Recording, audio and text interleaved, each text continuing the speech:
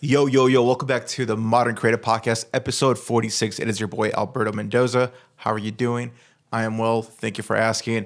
What is going on, guys? Hopefully, you guys had a great holiday weekend, a great Thanksgiving. Hopefully, you guys spent a lot of quality time with your loved ones, family, friends, boyfriends, girlfriends, whatever, your pets. Um, I sure did. Hung out with my family, ate really good. Um, and now we're back at it, man. It's a work week, so uh, I've been excited to get back on the grind. Um, I have a lot of things that I want to talk about, especially things that I just recently purchased with the whole Black Friday and Cyber Monday sales. So I definitely took advantage of that time to uh, get some cool accessories. But I'll talk about that in a second. But um, yeah, what I've been up to besides obviously spending time with the family been doing again like the same thing. Been working a lot man. I've been shooting a lot. I've been uh, doing a lot of pre-production for um, the final month of the year. I'm trying to close out 2024 pretty strong. I remember this time last year uh, things were fairly slow for the most part. It all started in october and then november got a little bit more dry and then december got pretty dry. I think i had like two gigs uh, if anything. Uh, but yeah, I want to make sure I that doesn't happen again because I did. I do remember taking the foot off the gas uh, at the end of Q3, heading into Q4, and so that I definitely felt that. So I'm trying not to make that mistake. I've been grinding pretty hard, been posting consistently, um, updating my website. I'm currently working on a new 2024 reel, so I'm excited to roll that out within the next few weeks. Uh, but other than that, um, I'm I'm kind of gearing more into uh, i'm doing a lot of pre-production and obviously the production side but i'm starting to like catch myself like uh, delegating work now. Like i think i found a solid editor now and we've been communicating nonstop um, trying to like get this going on. Um, he is uh, actually from overseas. So uh, shouts to homie for uh, actually helping me out a lot man. And shouts to joel too man. Um, if you're listening to this man you definitely helped me out with uh, with your plug. Uh, but yeah um, that's kind of what I want to go towards 2024. I want to do more of the pre-production and the production side because that is like I like being involved in the pre-production side and I like to obviously film like I, I always say I could film all day long for 10 15 hours like it, to me that's nothing. The editing part that's like the real work. So shouts to the people that love to stay in home and stare at a computer screen for hours and hours every single day. I can't do that. I'm I don't want to say a social butterfly but i have a healthy balance of like wanting to be an introvert and wanting to be an extrovert. Like i do like to be outside a lot but i also love being inside at the same time. But yeah that's pretty much it. Uh, let's talk about some of the stuff that i got uh, during the uh, holiday sale First things first, I want to talk about the specific brand, Grams28. They reached out to me. They said, Hey, I like what you're doing. I think this bag that we're about to drop is going to suit you for your professional needs. And I just want to hook you guys up. And so I said, Bet, let's run it. So they sent it to me. And as of right now, I am loving this bag. Uh, I've replaced this bag with my old cheap bag that I had. I had a small little, like those standard uh, camera case camera case bags that you see like that, that you see old people use all the time and so the only reason i use that for so many years because i got it for free on amazon when i bought a tripod or something they, they sometimes give you some free stuff. And so i literally literally ran it down to its last drop because that thing was like breaking down on me. And uh Grams28 they like reached out at the perfect time. This is like model is the 133 essentials case max this thing is like real leather, by the way. So this thing like is going to last me for years. It also comes with a shoulder strap, which I just have this attached right now for the podcast. I did take it for a wedding that I shot last month. So there was a moment where I had to be away from my actual big camera case. And so I brought this with me on the go. I was like pretty much in the other side of the venue. And so what I did is I brought another lens in here. I was actually able to fit two lenses in here, plus a few accessories in this bag. And uh, yeah, man, this bag is quite quite beastie and it is actually great quality as well. Um, it has a few pockets in here. It's quite spacious. I've able to put, I was able to put another camera body during the weekend too, and just like two other lenses, and it actually fit pretty damn good. And uh, look, at, I got a 3.5 millimeter jack in this little pocket right here. One of the other reasons I love about this bag is that it's very stylish. It's very sleek. It's very low key. It doesn't scream camera bag. It kind of acts like a kind of like a merce if you want to say but like i mean obviously i had a camera accessories in here so like if you want to take it around to a theme park or something like that and you don't want to bring your travel camera backpack this is the way to go. I'm going to be having a trip at the end of the year and i'm definitely going to bring this bag just to have with me on the go. So shouts to Grams28 for hooking me up man. If you guys are interested in their products they have a pretty dope lineup of accessories for men so i highly recommend you guys checking it out. Hit the link in the bio and uh, they'll sit you up straight So, guys, uh, I actually just purchased a incredible machine. Um, I actually went to the dark side and got myself a MacBook Pro. I am finally in the Mac OS system outside of obviously the iPhone. But yeah, this is the new MacBook Pro M3 Max chip. And my God, I am loving this machine so far. As you guys could tell, I got the new Space Black MacBook Pro. So yeah, I've been eyeing the MacBook Pro for quite a while now. Um, it, I mean, it feels forever, but realistically, it's been like four to five weeks. Uh, pretty much since I went to Utah and I shot that short film. My buddy Rafi uh, owns the M1 Max Pro 16-inch MacBook Pro. And uh, when we were in Utah, he was showing me um, his editing process uh, during the film that we were filming.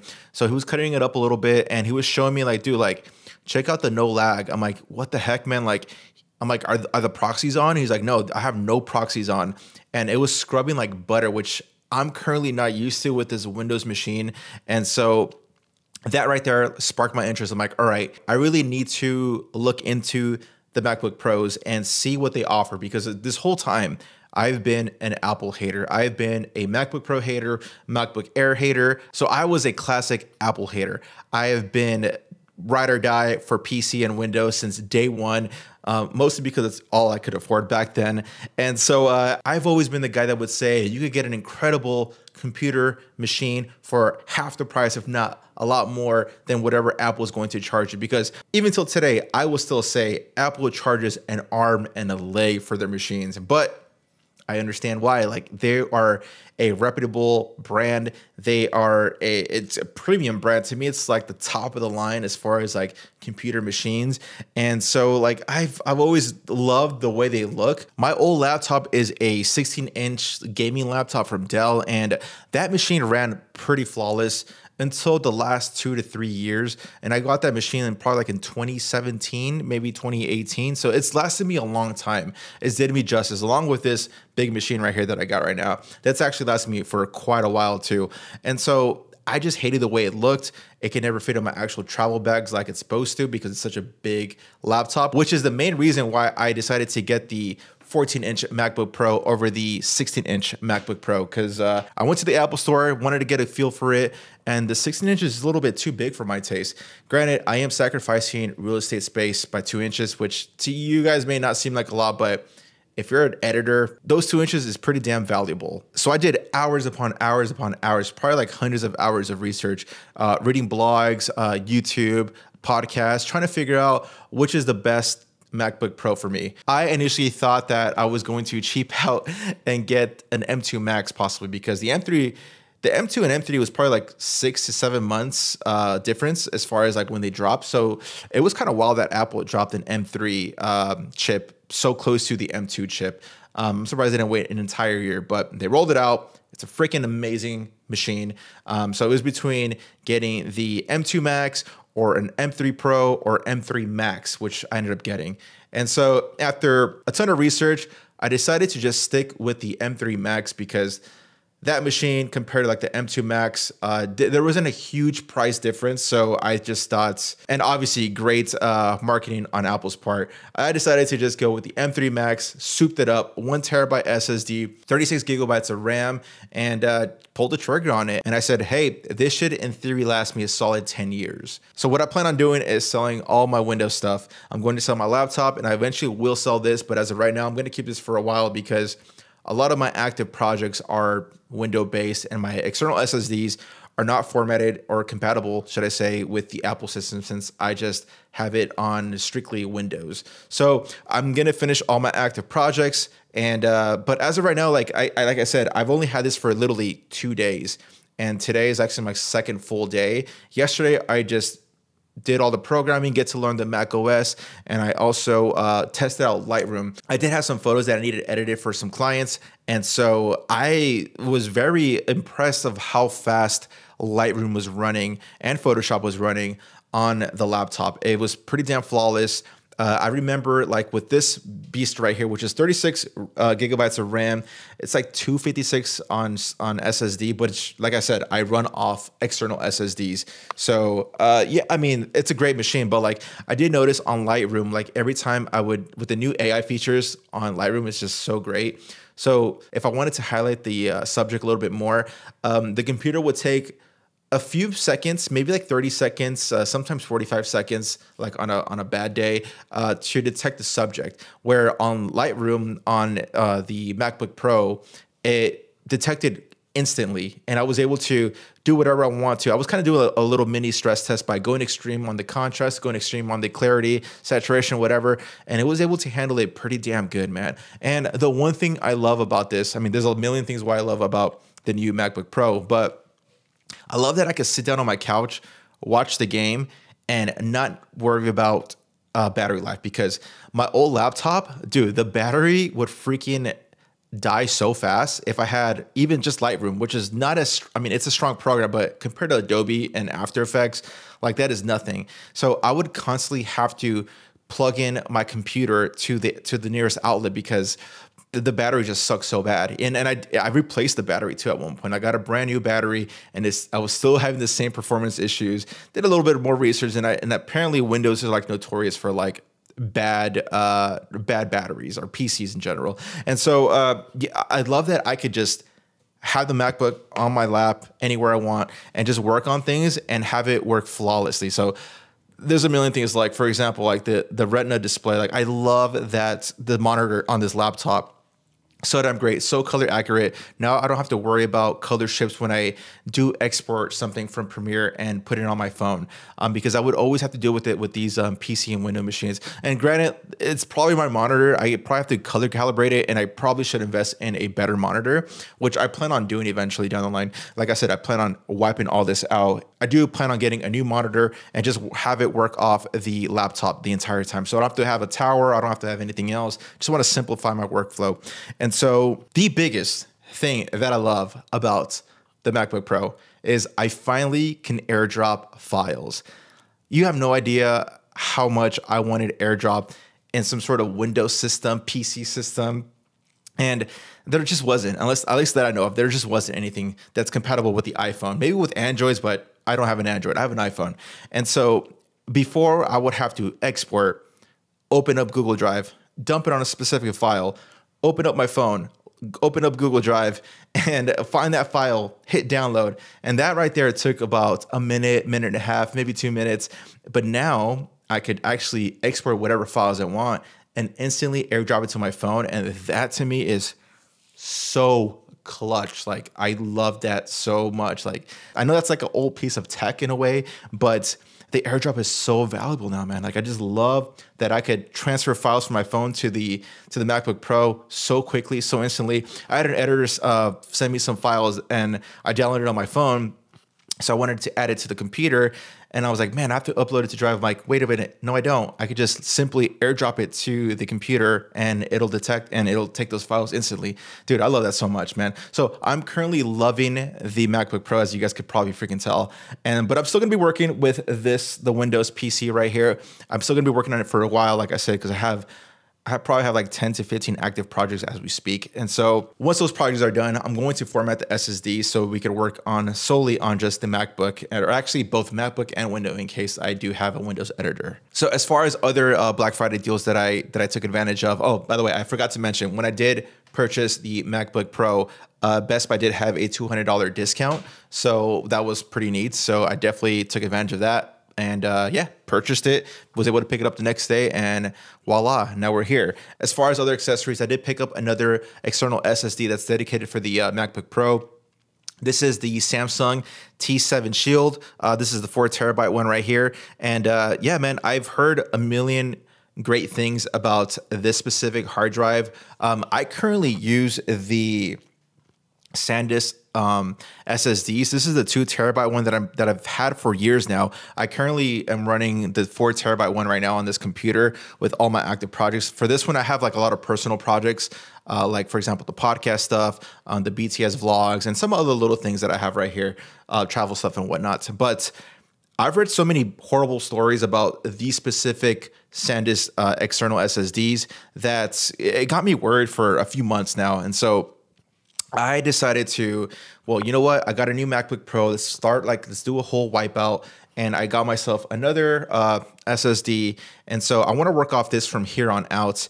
And uh, like I said, these SanDisk uh, SSDs have a pretty bad reputation at this point. If you Google SanDisk uh, external SSDs, you're gonna see what I'm talking about. So they're pretty much a lot of people are complaining about them failing on them randomly, no warning. They just stop working, and all their active projects get lost. And so SanDisk has taken a, a, pretty hard hit with this uh, with this article that just dropped recently. Uh, actually, it's not even recently; it's been months now at this point. And so this whole time I knew about this, and I already had these two external SSDs, like I said, and I took extra care for them. I make sure I eject properly. I make sure I plug it in properly. I'm using the right cables for these specific drives, not just any USB cable or USB C cable. And so I've been pretty damn safe with these. And knocking on wood, things have been pretty good for me.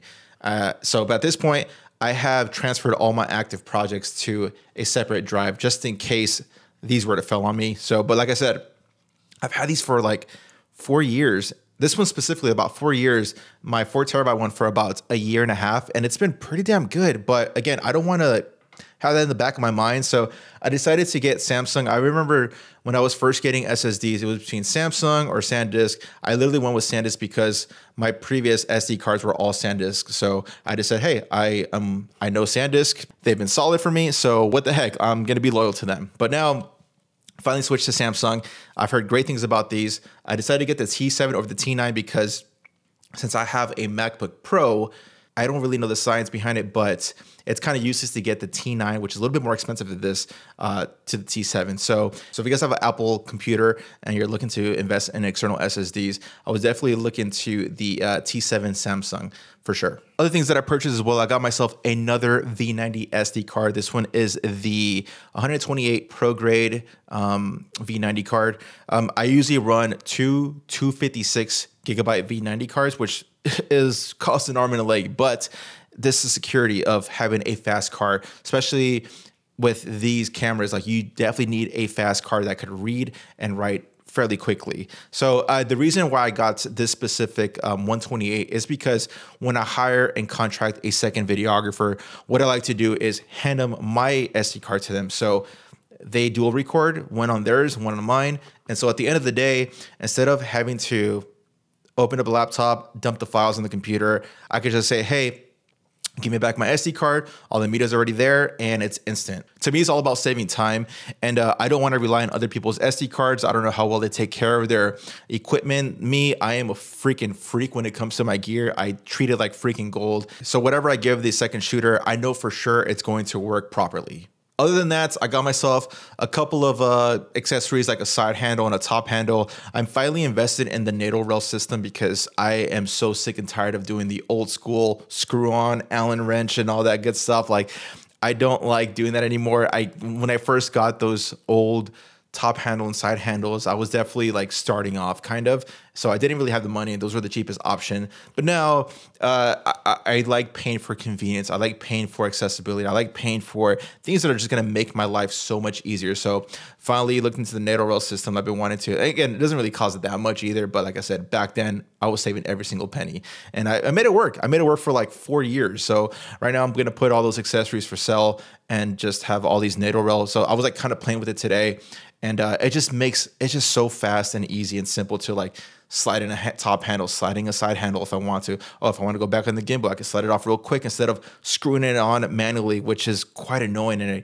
I remember during shoots, I would hate that process because it just takes a lot of time. Like I want to simplify my workflow. Um, eventually, I will plan on. I do plan on getting another camera, either a bigger camera like a FX6 or an FX3 or something smaller like a FX30 or an A7 IV because I want one camera to be dedicated for sticks and one camera dedicated for a gimbal work. So I don't want to be flip flopping with equipment and taking off the cage or putting on the cage, taking off the top handle with the monitor, side handle, all that good stuff. So like I said, the older I'm getting, the more I'm realizing that I just want to make my life so much simpler during production so I can just concentrate on the client, concentrate on the actual shoot itself and really kill it for them. But that is it, guys. I'm curious to know if you guys got some stuff during Black Friday. I definitely did. As you see, I definitely saved myself a few hundred dollars uh, with these sales, even if it's like $10 off, $15 off, $20 off, I still save some money. So uh, to me, every penny counts. Um, so I'm curious to know if you guys got some cool things on Black Friday.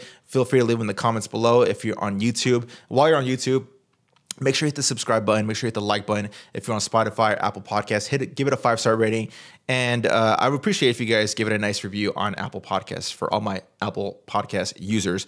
Uh, that's going to be it for me, guys. I will catch you guys on the next one. Peace.